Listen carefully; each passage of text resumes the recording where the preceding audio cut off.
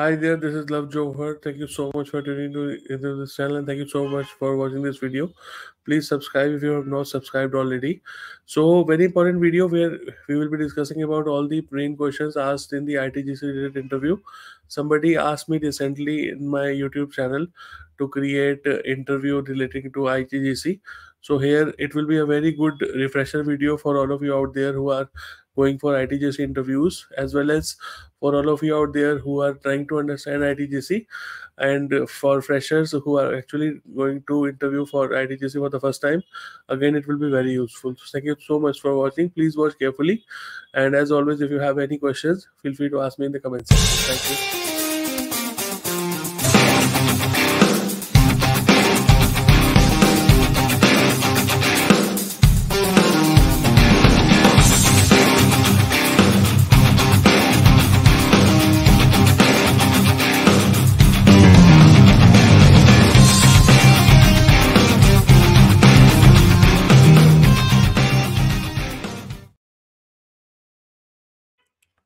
So, what are ITGCs? First of all, let us understand what are ITGCs all about.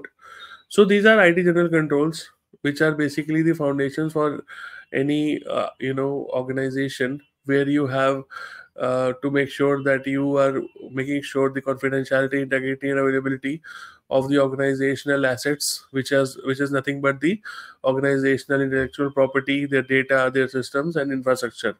Okay, so this is IT general controls it's also called as general IT controls. So, okay, so GITC is also the same thing. So why are ITGCs important? Uh, you know, as I've already mentioned, you have to make sure that you have proper uh, controls in place for making sure the confidentiality, integrity, and availability of information, because otherwise you will not have the reliability of data and you will not be able to safeguard the assets. So, in order to ensure compliance with the regulations and mitigating the risks associated with your IT operations, you need to have these ITGC controls in place. So, now understanding what are the main categories of ITGCs. So, the main categories of ITGCs include access controls, change management controls, backup and recovery controls, security management controls, and segregation of duties control. Okay. Now, explaining the concept of segregation of duties and why it is important.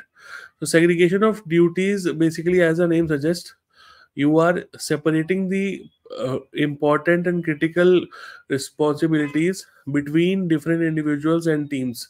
Okay, these are for critical tasks so that you try to prevent a single person from having complete control over a critical process. That's where I started from. Okay, in order to make sure there is no fraud in your financial systems in order to make sure that there are no errors in your financial systems and in order to control any misuse of resources you keep this control of segregation of duties. Very important. You must have heard about a concept of maker checker which is uh, very commonly used these days in the financial terms especially if you have used erp systems. So separation of duties also comes there as well. Okay so what is the purpose of access controls? Access controls is basically to ensure that your data is confidential. So confidentiality comes as we speak about access controls. So whenever you uh, get any interview question about access controls, always think about confidentiality. Okay. So access controls ensure that only authorized individuals have access to the sensitive information and systems, thereby reducing the risk of unauthorized access data breaches and insider threats that's why access controls are important after that you have to describe the process of implementing change management controls so change management controls involve documenting reviewing approving and implementing changing to the IT system and infrastructure to minimize disruptions, maintaining system integrity, and ensure compliance with policies and regulations. So, why is change management important?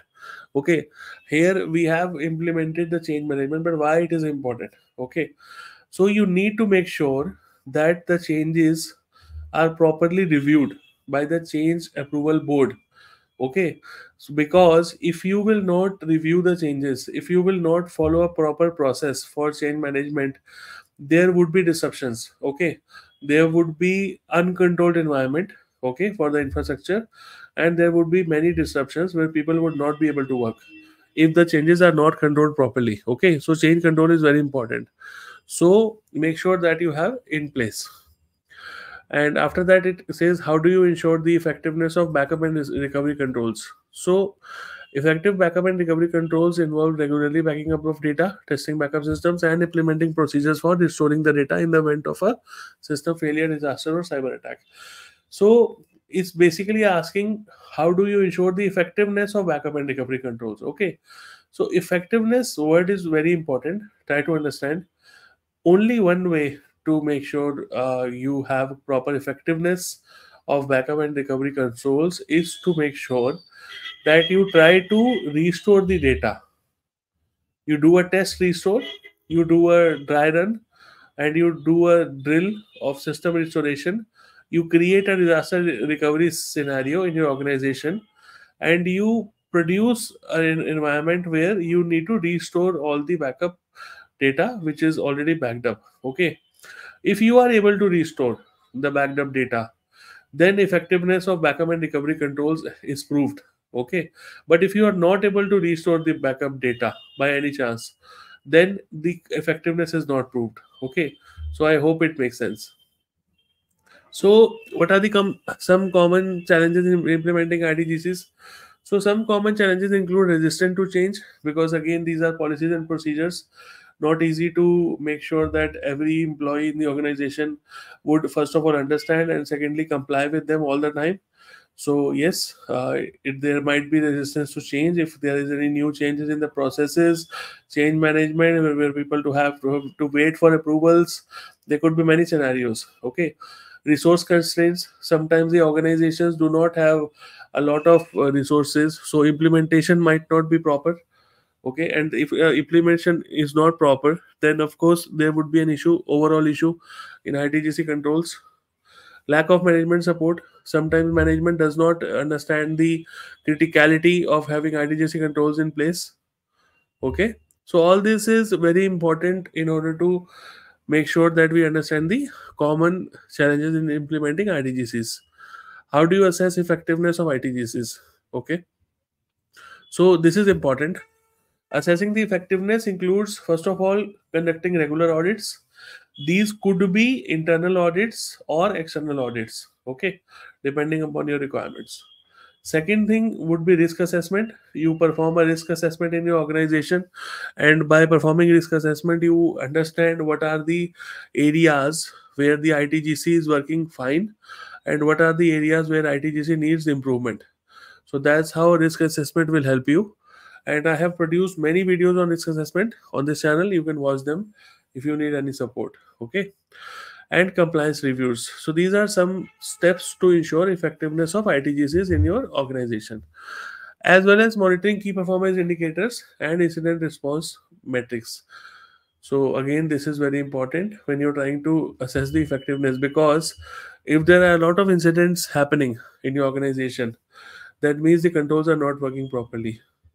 And if your key performance indicators are showing a very high number or a very low number, that is also a uh, you know point of concern. So you have to make sure that you analyze all these parameters in order to judge the effectiveness of itgcs so explaining the concept of least privilege and its significance in access controls so least privilege as the name suggests only says that the individual should be granted minimum level of access. For example if a fresher joins an organization he should not be given the entire access of the department on the first day itself.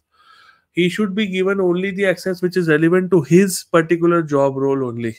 Okay and not the entire department's uh, generalized job groups where everybody has the same level of access same level of permissions same level of rights. That should not happen okay?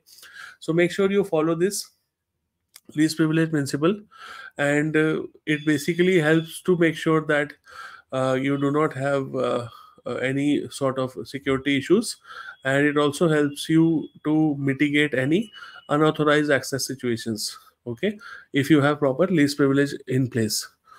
How do you ensure compliance with regulatory requirements related to itgcs so compliance with regulatory requirements involves understanding relevant laws and standards which are applicable to the organization and accordingly implementing the controls and procedures which are applicable.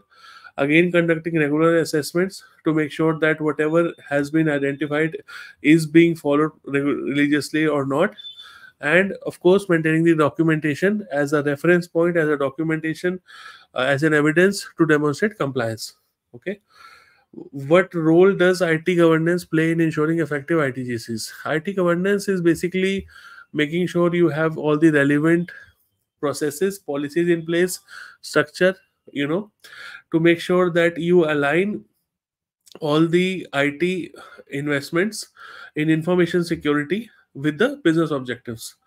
And you manage all the risks businesses effectively and you have to make sure that this is done properly okay? So it governance is very important. Otherwise you won't be able to have an effective uh, itgc in place okay? Because you would not have defined roles and responsibilities and accountability would be missing if you do not have it governance in place okay how do you handle security incidents related to itgc Handling security incidents involves detecting and containing the incident, conducting a root cause analysis, implementing activities, preventing communicating with stakeholders. So this is how a general IT incident would handle. Okay, because ITGC also talks about confidentiality, integrity, and availability of information.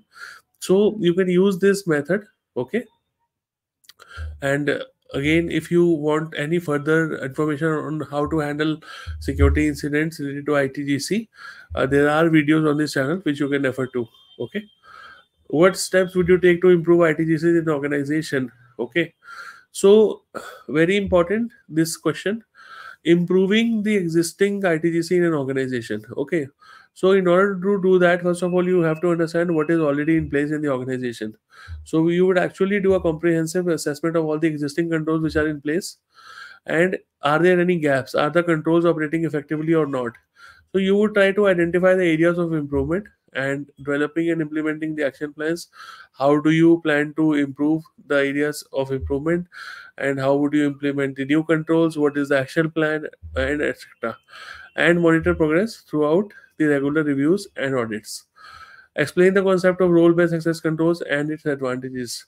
So role-based access control is uh, simple. Okay, you provide the access based upon the role that a particular individual in the organization has been assigned. So that's why role-based access control basically reduces unauthorized access and again helps in ensuring confidentiality. Okay how do you ensure that employees are aware of ITGC policies and procedures? So you have to make sure you have you conduct proper awareness sessions, you have proper trainings and communications on uh, newsletters on ITGC policies and uh, procedures monthly, bi-monthly or quarterly, whatever you want to add in the organization. And security awareness trainings should be a part of the onboarding process itself, where people understand the relevance and importance of ITGC in the organization. And of course, uh, for previous employees who have not uh, been able to conduct these trainings or who, who were not a part of this uh, course, make sure you have refreshers training sessions as well. Okay. After that, we have what measures can be taken to prevent insider threats related to ITGCs. So insider threats are related to inside of the organization. We have already discussed many controls which are related to that. First of all is access control. Okay, uh, where you, you actually make sure that you have proper confidentiality in place. Only authorized users are allowed access to certain information. Secondly is by monitoring the user activities. If you do not have any way of monitoring the user activities, you can never prevent insider threats because you would never be able to understand or come across the sort of issues or incidents that are being uh, raised if you do not monitor the user activities uh, first of all okay? Conducting background checks. You have to make sure that you for any employee that you hire in the organization there is a proper uh, background check mechanism. So in order to make sure that you know you stay compliant with itgc and after that, you have to enforce the principle of least privilege, which we have already discussed two minutes ago, and promoting a culture of security awareness and accountability in an organization. How do you stay updated on emerging trends and best practices in ITGC? Staying update involves participating in industry conferences, seminars, networking with peers, subscribing to relevant publications, publications and newsletter, and pursuing professional certifications and training programs. There are many ways to stay update. Even my channel produces a lot of content. If you watch this content, you will of course stay updated on any uh, new thing on ITGC. I'll be helping you with that. And if any specific help you want, uh, feel free to add in the comment section.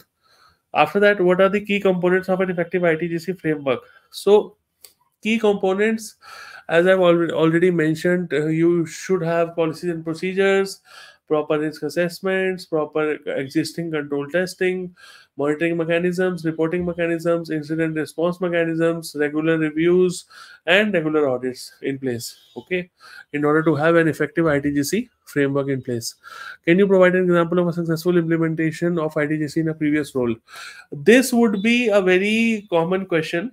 Okay, that people with experience might be asked. Okay, so here you need to provide a specific example from your past experience. This is for experienced people only where you were involved in implementing or improving the ITGC in your previous organization, highlighting what all challenges did you face and how did you overcome them, what were the strategies that you employed, along with the outcomes that you achieved, okay, how you were able to improve the security, okay, how were, were you able to measure the improvement, were there any KPIs that you used to measure, okay or was it related to any sort of operational efficiency that the business achieved?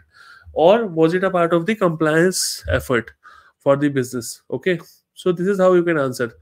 Uh, i think this video has been useful. Uh, we have discussed a lot of things. Still if anybody has any questions uh, as always feel free to ask in the comment section. I hope this has been useful. Thank you so much for watching. Take care. Bye bye